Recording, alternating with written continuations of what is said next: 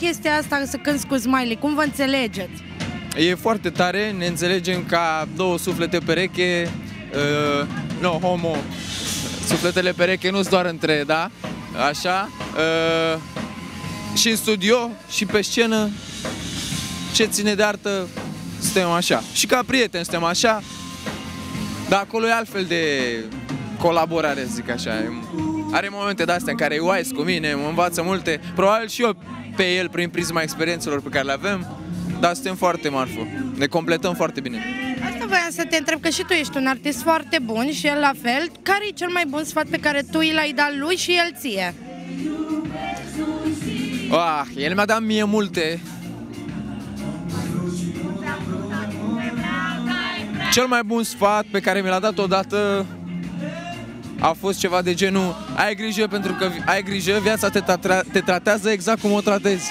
S-a citat singur. și atunci a avut, m-a prins tare cu vorba asta. Mi-a făcut pielea de găină, nu o să uit vorba asta niciodată. Și nu că o are în piesă, ci cum mi-a zis-o atunci. În rest, artistic mi-a dat multe. Am furat mult de la el.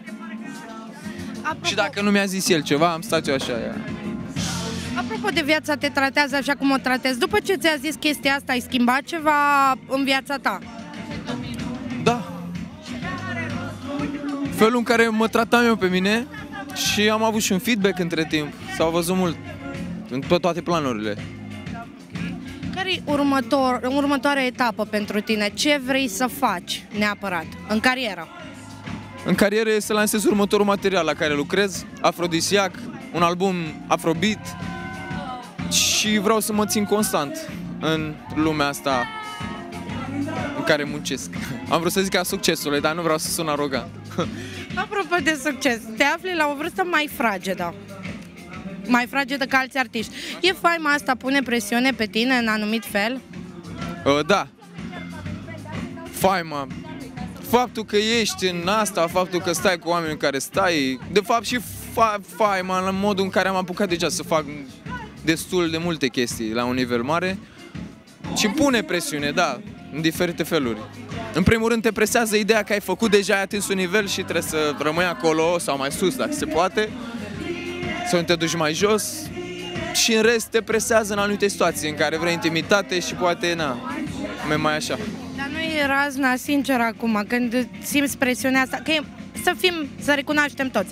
La artiști e o presiune mult mai mare și actori și toată lumea care e o persoană publică. Sunt momente în care, da, trebuie să fii tare de cap. Da, în viață trebuie să fii tare de cap oricum.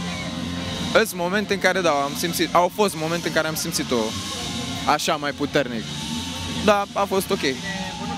Iată-mă.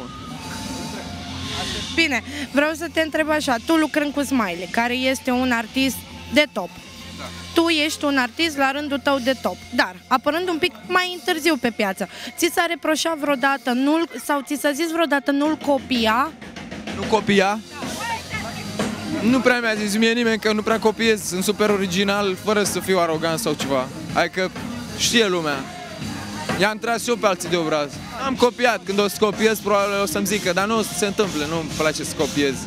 Mi se pare că cel mai tare lucru la arta asta pe care o facem e naturalețea aia, taciul ăla pe care l-ai cu tine, cel mai adânc. Și dacă îl atingi pe ăla, atunci e, e cea mai, ma- cel mai mare feedback, ca plăcere, ca...